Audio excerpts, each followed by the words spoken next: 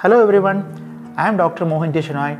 I work as a consultant pediatric endocrinologist in Trivandrum, Kerala. Today we will discuss the problem of childhood obesity.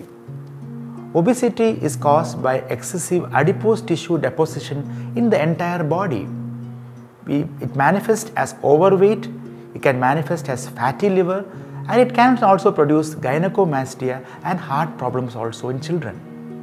So why this problem is seen more is because of the fast food culture as well as the, the inactivity culture of the children.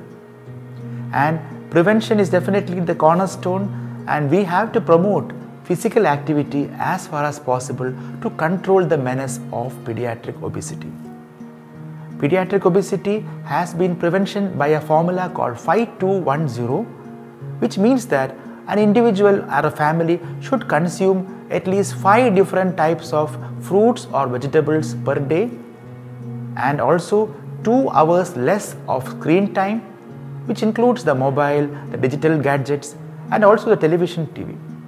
And we also know that the 1 means 1 hour or more of physical activity which includes all your outdoor and indoor activity as such. And 0 means reduce or minimize the junk food which is actually the villain in the entire episode.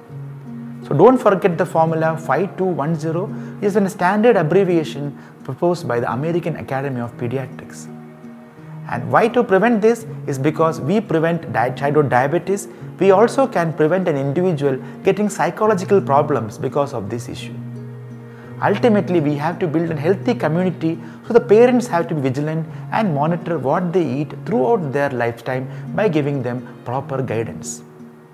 Treatment is simple they have to give lifestyle interventions and also targeted medicines which are available like metformin, orlistat and also newer medicines like liraglutide and semaglutide. So we definitely hope to see more and more molecules develop and we have to give a lot of treatment by motivation to reduce the weight.